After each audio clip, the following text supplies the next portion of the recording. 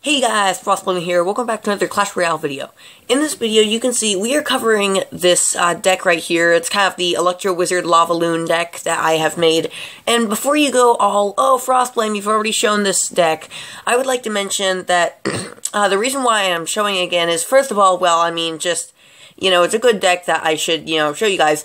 But also, I have been having three crown after three crown after three crown. I mean, I don't know what it is recently, but all of a sudden I've just been doing so well with this deck, and I definitely uh, like to give you some more tips and strategies over how to use it, just because it's a really solid deck and is definitely doing well in the game right now. And, well, the only sad thing about this deck is, well, we we have no gold. It takes 20,000 gold to uh, upgrade to level 10 uh, common to level 11, and we don't have 20,000 gold. So, uh, uh, well, I mean, let's face it, uh, you can beat levels with skill. So, you know, let's just get straight into these replays. So, into this first one right here, you can see level 10 versus level 10, and, uh, you know, obviously with most games, you just kind of start the game going simple. You don't try to, well, okay, some people try to go on a bold push at the very beginning, and even I do sometimes, but most games are just, you know, in the very beginning, you're just kind of sitting there, charging up, waiting till you can get the advantage over your opponent, then you uh, go on a push. But either way, um, I decide to place my Lava Hound in the back, seeing that he wasn't doing anything.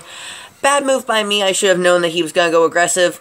But thankfully, we were able to uh, take out some uh, skeletons before um, too many bad things happened. And since he used to zap early on, I knew it'd be safe to use them. Good news is here is that, uh, you know, the Lava Hound's actually tanking for all the troops. And let's face it, he made a poor choice by pushing. I mean, sure, he got quite a bit of damage down, but he didn't factor in the thought that, well, let's face it, I'm going to go on a counter push since you're now down on Elixir.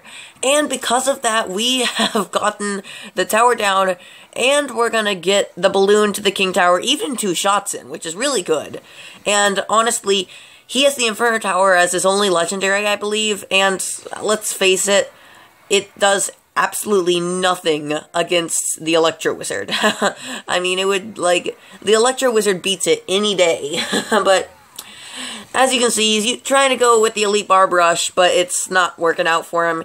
He will not get a single hit point of damage onto my right tower, and we are resetting for another push. I'm and I'm thinking to myself, you know, I mean, the tower is already at less health than the, well, the King Tower is already at less health than the, uh, that, that was a good zap by him there if you saw that. Either way, uh, the King Tower is at less health than the Arena Tower. So, you know, I mean, why not just go on a push? I mean, if they're that, at the exact same health, just go for the Arena Tower.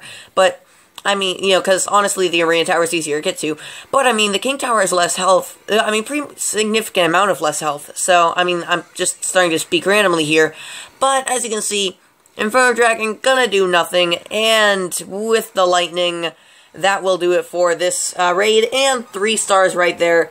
It really wasn't even a close raid. We had control of it the whole time, but definitely a very nice raid there. Looking at this next replay here, you can see he kind of has a miner cycle rocket deck. Normally don't see miners with rockets, uh, but, you know, this guy's using it, and honestly, it's not that bad of an idea, because, you know, you can cycle through your rocket pretty quickly. Um, I do try to use the minions to take out the uh, Goblin Gang, but there's not enough. Oh no, we're gonna run out of battery power. Come on, you can do it. We believe. We believe that we can get battery. okay, anyway, so let's see. And as you could see, uh, that rocket was actually very well done by him, because taking out 9 elixirs worth with a 6 elixir rocket otherwise would have been very bad for him, but very well done by him. And honestly, I mean, at least it wasn't, you know, if you play the rocket like against troops, it really is not dirty. I mean, you know, there, there's nothing that you could say is unskilled about using it against other troops. I mean, you know, either way, I use my arrows, and since his, like, you know, my more damage tower is the one on the left, so I decided to just let the Mire get the chip damage in, and the Skeleton Army will take out the Goblin Gang. But, as you can see now, um, my Lava Hound is going in, his skeleton army is also going in, but we have the minions to counter. He's actually going to place a uh, second furnace. Very interesting there. But looking at it, he does nothing. Well, okay, he uses the princess to counter the minions, but he uses the princess too late, and so we got a lot of damage in there with that. Honestly, the lightning there, that wasn't really the best play. I just didn't know what to do there, and I thought, you know, I mean, I might as well do it. Um, not really the best play, but, you know, I mean, it's something. So, what's nice here is, because he deploys the miner first, which is honestly what you're supposed to do, but I get to use the arrows on the miner as well, and for that reason, um, you know, uh, he gets a little bit less chip damage in. I, you know, it's really debatable whether you want to counter the miner or not uh, alone, because he'll get 500 damage in, which is quite a bit. But along with that fact, you have the factor where, you know, I mean, spending elixir to counter him is elixir you could be using to do a counter push. So, you know, it's really questionable, but I personally feel uh, it just depends on the scenario, you know. Uh, are you, you know, can you sacrifice the tower damage? Are you going on a push and you don't want to waste the elixir? Are you really low on hit points and you need to save it? Or, you know, it just really depends on what you're doing. As you can see, not a single thing in this world he can do to save that arena tower. And as you can see, um, you know, I mean, even his skeleton army is going to do nothing. Our Electro Wizard is going to zap that tower down. Looking at our balloon is still there the lava pups are going in, and minions are being deployed, and let's face it, the uh, lightning along with the electro wizard will make us that the tower cannot do anything against us, and that's a three star right there. I'm not three stars. We're not talking Clash of Clans today, we are doing Clash Royale, but as you can see, three stars there. Uh, again, this one was the battle directly after the previous one I just showed you, so definitely a very good one there getting into this next battle here, you can see we are playing a person with kind of a, uh, you know, if you look at it, it's kind of a bowler, uh, what's called? Bowler Graveyard, yeah. Forgot the name for a second. Either way, uh, he plays an aggressive goblin gang. Uh, I defend it with a skeleton army, and we are still even on elixir.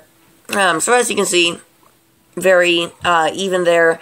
And you can see he's got places bowler and let's face it, the bowler does nothing against the Lava Hound or air troops in general, which is my, why this deck really thrives against it, because, you know, I mean, the bowler can't do anything, and since it's one of the, you know, more uh, important and larger cards in the uh, in this deck, you know, it makes it so, you know, there's really not much you can do to defend. I mean, you know, you're counting on your ranged uh, support units to, um, you know, take out the Lava Hound and Balloon, well, if his ranged and support units don't take out the balloon, that's kind of an issue because the balloon just gets to the tower. I said balloon really weirdly there. Either way, um, as you can see, our our skeleton army is even gonna get to killing the uh, goblin uh, spear goblins. Really weird that spear goblins do so little damage that they don't even kill a skeleton in one shot. Kind of sad, but at the same time, you know, um, it's kind of good for us because we're not the ones using it.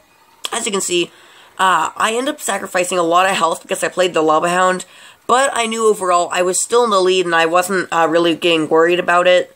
So, you know, overall, you know, just don't stress out about it when, as long as you're still in the lead, you should be fine. Well, I mean, that's not necessarily true, but in this instance it is. So I used my uh, Electric Wizard, I was trying to take out the Princess, but he played his um, Baby Dragon, kind of annoying, but actually, the Baby Dragon retargets and keeps the Electric Wizard alive until the Electric Wizard dies again. But anyway, as you can see, I placed my Skeleton Army kind of to kill the Princess, but you know, it didn't actually do it super well. As you can see, tons of damage off of those really small, uh, cheap troop. Well, okay, I guess a Lava Pup isn't cheap because it's 7 elixir for the Hound. But either way, you know, very cheap and, uh, you know, low health uh, troops getting a lot of damage in there. You know, you don't want to uh, underestimate numbers. They really can do a lot for you. As you can see here, we are one balloon shot away from the three crown win, and there is nothing he can do. Whether he tornadoes us, whether he mirror tornadoes us, nothing he can do. No hope for him. See, the balloon doesn't even get there, but the lightning will, and not even a close call. Doesn't even take down our first tower. Three crown win there, and that should do it for this episode we, I am getting a lot of three crown wins in a row.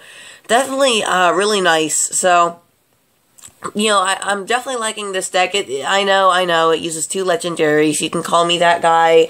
But hey, I didn't use money on getting legendaries. I'm just lucky with getting them. And the fact that I save up gold to get them. But, you know, actually, I got, okay, I have a level 2 Lava Hound. One was from a legendary chest um, that I just found, uh, and then one was from the shop, and then the Electro Wizard was also from the shop. So, two-thirds of my legendaries in this deck were from the shop, but either way, no money was spent. I'm just ranting. This is the deck here.